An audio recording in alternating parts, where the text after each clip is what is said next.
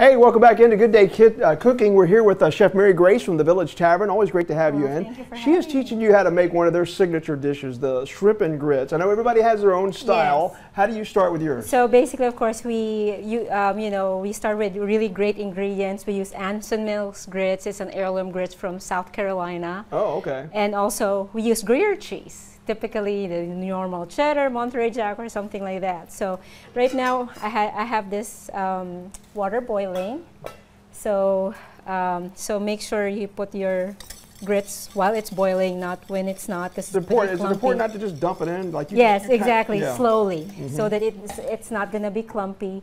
You season it with salt and white pepper, pretty much. And we'll have the measurements for you on the recipe. Yes.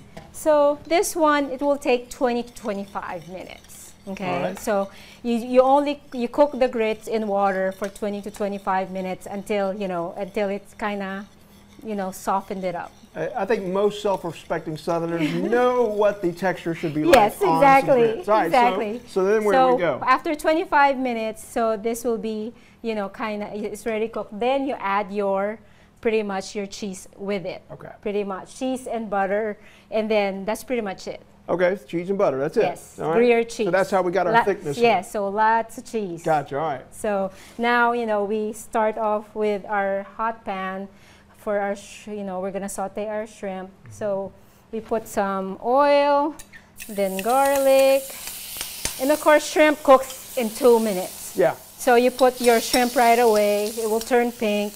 You put also your mushrooms. Now was that about was that about a tablespoon of minced garlic there? Yes. Or- okay. Yes. So yeah, and you can add some more. So let's move it over here in the center, because it will take around a good, you know, good two minutes to cook all these down, especially, Especially if it's a hot mushroom. pan and you're looking for Yes. that orange color on each side. Yes, right? exactly. Okay. Because you don't want to overcook it, because also, you know, it's gonna be gummy. Right. So Nothing worse than gummy shrimp. Exactly, exactly. So while this one's also cooking, you can also put your white wine right now.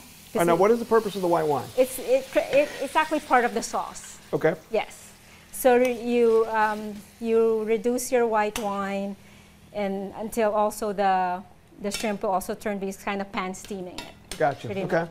So next will be, of course, when the shrimp is cooked. So uh, when the shrimp is cooked, um, with the let's say for the magic of TV. Right, because the because the, white wine would have been reduced down a little bit more. Yes. You wouldn't want it like that. Yes. So Yeah. you put your crispy bacon. Mm-hmm. So how do you cook your bacon at home? Um, well, I you know I, now in the oven because it makes less of a mess. and cover it up. exactly, Yeah, yeah, exactly. yeah. Yeah, that's the best way Mhm. to you know to cook your bacon pretty much. Especially nowadays, you know you could get anything pre pre- pre-made and everything. Sure. So next is our seasoning. We season it with salt and black pepper, and also Texas Pete.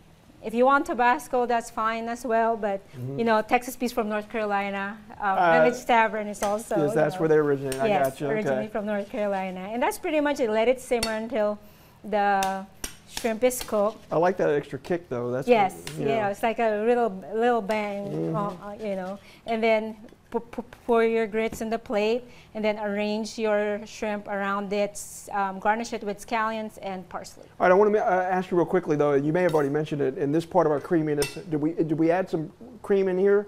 Oh yes, we do- we, we Ah, do add some cream. See, I That's pay attention. to They're see. the heavy cream. cream. So we after the grits is cooked, you put the cream, the butter, and the Gruyere cheese. And we're looking at a three quarter cup. A cup. Cup. Okay. All right. That's how we That's got our it. cream. See, I, Yep. uh, I knew something. Thank We- you. You're welcome. You're welcome. I'm not as she's she's the best Oh, no, best no. around.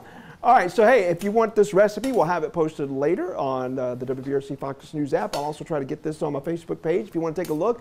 But this is delicious. The shrimp and grits from the Village Tavern. Chef Mary Grace, we do appreciate Oh, it. Thank, thank you you so much. me. Look at that finished product. Does that not look delicious? We'll be right back.